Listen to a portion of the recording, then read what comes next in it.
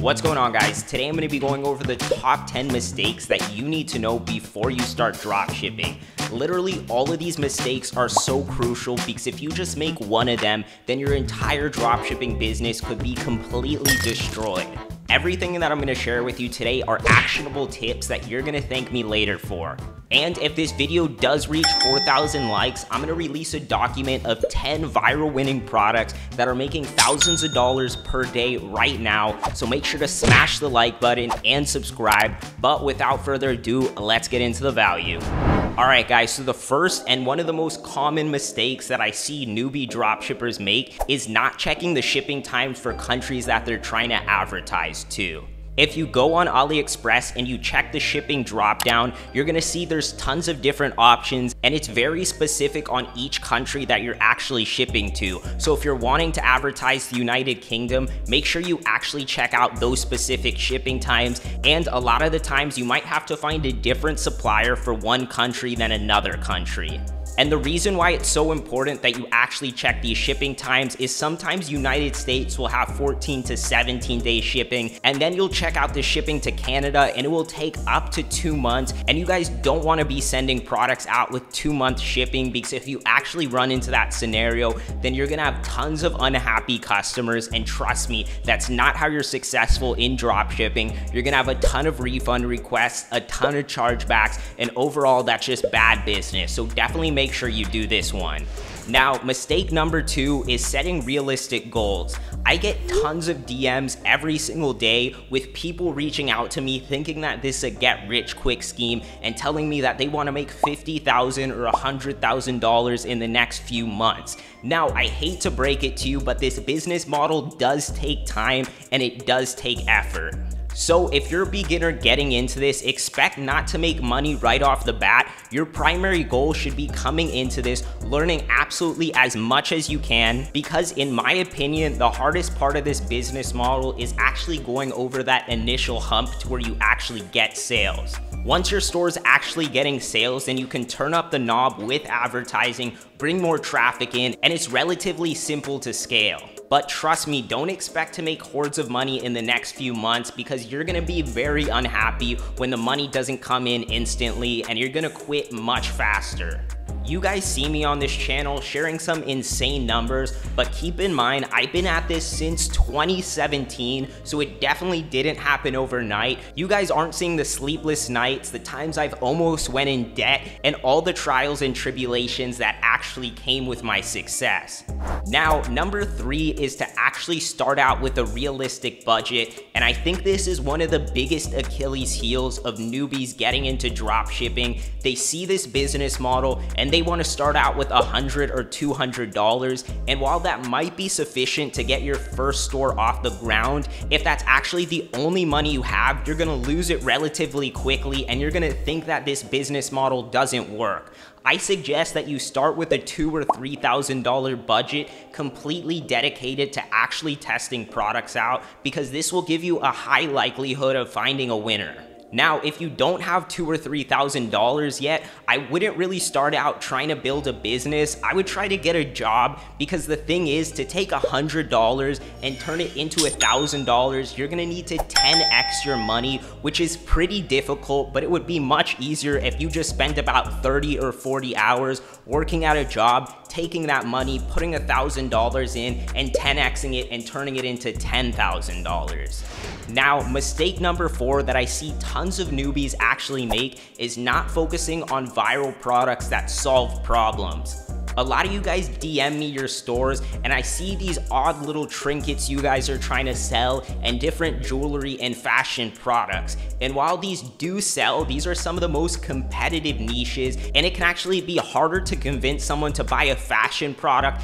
than something that actually solves a problem. The method that I teach in dropshipping is actually finding products that fill a gap in the marketplace. So for example, not too long ago, I shared a video showing one of my 100K products, and what this product is, is a knee brace that actually helps you walk better and it takes off weight from your upper body, which solves a massive problem for anyone who has knee problems or trouble walking in general. Now, the reason this product's much easier to sell than random trinkets is because it solves a real world problem, and when you actually go on Facebook and you advertise this to people with knee problems, they're gonna be much more likely to buy this as an impulse purchase than your random trinket.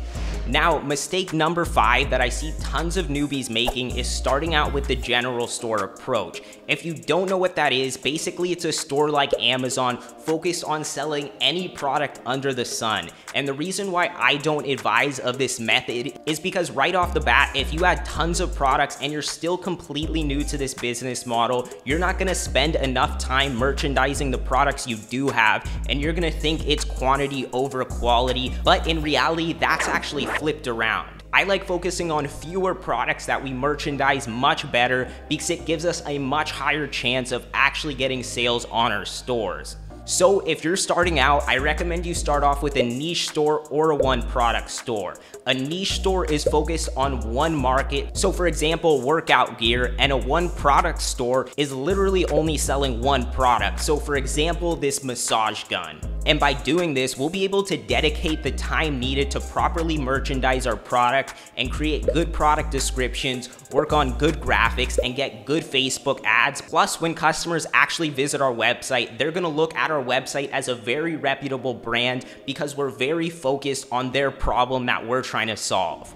Now, mistake number six is to avoid selling any copyright or trademarked products. Now, this could be a little bit difficult to understand if you're a beginner, but one big piece of advice that I recommend to you is don't sell any products with any characters or any references to any other company. So for example, a Spider-Man costume, an NBA jersey, or something related to Pokemon. Now this should be common sense, but I see far too many people get into this business model and get their store shut down because the thing is that company could actually come file a report on you and Shopify will take your website down immediately. And on top of that, you could also face some legal implications if you actually did become very successful selling that product. All right, guys, so mistake number seven should seem like common sense, but I see far too many people get into this business model, start scaling their products, and they don't actually truly understand the profit that they're taking home each day. Now, this is pretty simple to figure out. There's a couple apps that you could download on your your store like Lifetimely or Order Metrics where it actually tracks real time your profit every single second so you can integrate your Facebook ads, your Google ads, your product costs, and your shipping costs, and any fees that you're actually paying with Shopify or any external apps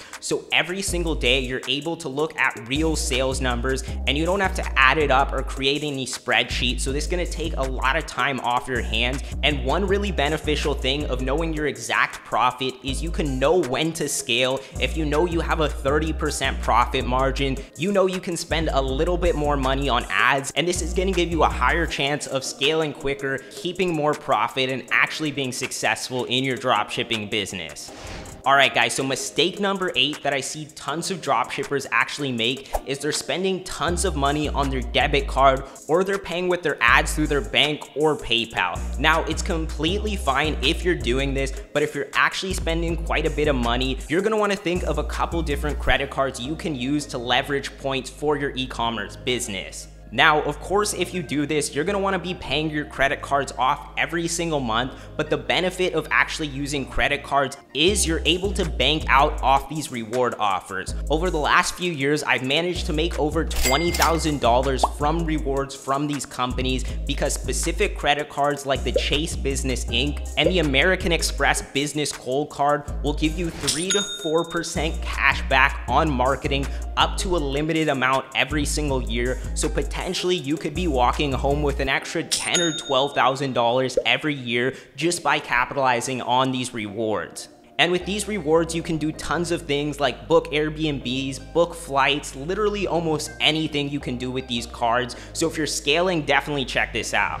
Alright guys, so mistake number 9 that I see beginners make is not actually setting up a legal business entity. And this is really important once you actually have some revenue coming in that you decide what type of business you actually want to create. When you first get started, you could start a sole proprietorship, but as your business starts to scale up, it's going to be more tax advantageous to run something like an S Corp.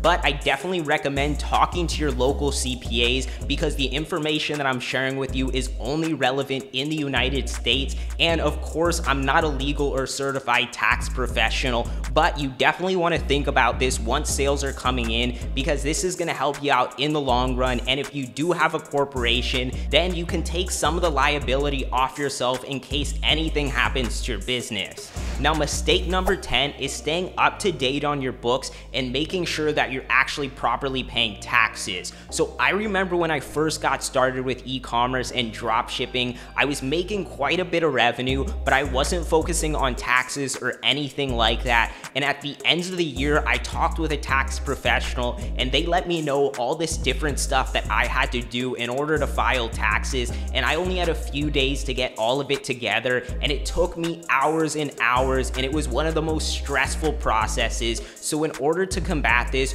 once you actually start getting sales, talk to a certified tax professional, let them know about your business model and they're gonna help structure your taxes so you're actually doing this correctly and you're gonna wanna make sure you're keeping your books up to date until you meet with your tax professional so you can actually download something like QuickBooks where you can import your bank transactions every single day and all you need to do is click a couple buttons and they're gonna import into QuickBooks. And this way you're gonna be able to stay up to date on all your books. So at the end of the year, you can just submit this profit and loss statement to your accountant and they're gonna be able to do everything super simply because your accountant's not gonna go through your books or your bank statement and look through everything and give you this pretty number. That's not how most accountants work unless you're paying a bookkeeper. So I just recommend you do it yourself and save yourself a lot of trouble.